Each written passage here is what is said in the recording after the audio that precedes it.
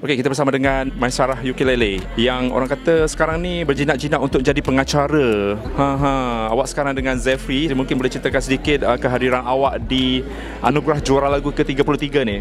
Okey, uh, hari ini saya datang bukan sebagai penyanyi tapi saya datang sebagai host untuk F8 Buzz. Uh, dan uh, ini This is my second time hosting for F8 Buzz. Uh, saya akan tanya pasal fashion and all of that. So I'm actually really excited to meet all all of the artists and ask about their penampilan and all. Yeah. So ini um, bukan kali pertama eh. Uh, Mat Sarah datang ke AJL Tapi pertama kali untuk mengacara program. So korang boleh tengok dekat YouTube. Uh, YouTube channel yang semakin pesat membangun. Katanya dah ramai subscriber. Mm-hmm. So kita hari itu dah menemubual uh, Maisara Ukulele dekat sini. Mungkin apa excitement yang you rasa untuk AJL kali ini? Yang bestnya? Um, Macam performance ke? Macam mana? Hmm, performance apa yang menarik AJL Oh, I think um, the performances because all of the performances in AJL are really unique and they try to do like their very best so then they can win. But I think it's not really about winning. I think it's just about the fans and all of the performances that happens tonight lah. Okay. Soalan klise setiap kali AJL kita akan tanya uh, ramalan ramalan awak lah. Mungkin siapakah yang akan menang untuk AJL ke-33 kali ini? Hmm, that's very hard but um, I'm rooting for Siti Nodiana and Jacqueline Victor. Wow. Nisan Cinta. Yes. Kenapa lagu tu? Apa yang bestnya?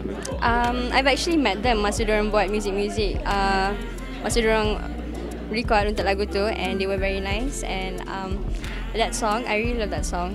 Yeah, it's it's a very nice ballad kind of song. Yeah. Mungkin peminat-peminat Maisara Ukulele kat sana nak dengar sikit Boleh tak? Sikit je Nulisan Cinta Versi Maisara Ukulele. Tak boleh. Awak memang pemalu eh? Alright Maisara Maisara Kalau kita tengok ni Ramai dah nak beratur panjang kali ni. Mungkin nak tengok persembahan. Dalam banyak-banyak persembahan nanti Mungkin uh, Siapakah artis yang yang yang diminati lah selain Nulisan Cinta? Kita ada Search dan juga DJ Fast kita ada Aiman uh, bukan kita ada Ismail Izani yang akan berduet dengan Nabila Razali ada lagi uh, Sarah Suhairi uh, ramai lagi. Uh, dia mencapai lah BBNU dan juga uh, uh, artis lama dan artis baru lah so Mai Sarah siapa yang awak suka uh, dalam ramai-ramai nanti juga? Yang you rasa nak tengok sangat? Nak tengok sangat? Uh, Amanra Aman Ra. Aman Ra, Aman Ra. Aku minat Aman Ra. Ah. Aku budak flat. Yeah. Budak flat. Bangun. Budak flat. Bangun.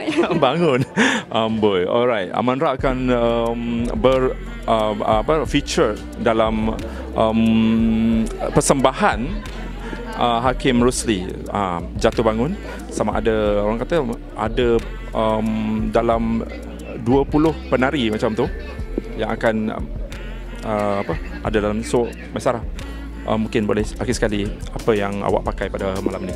Uh, hari ni saya pakai um, oh fashion juga. Okey hari ni saya pakai baju yang mak saya sponsorkan. Tapi uh, dia tak dapat datang hari ni and saya uh, dia belikan saya baju. Saya tak sure sebenarnya dari mana tapi I really love it. It's a really nice blouse. Same oversize. Ah ya. Yeah, uh, oversize punya baju memang cantik.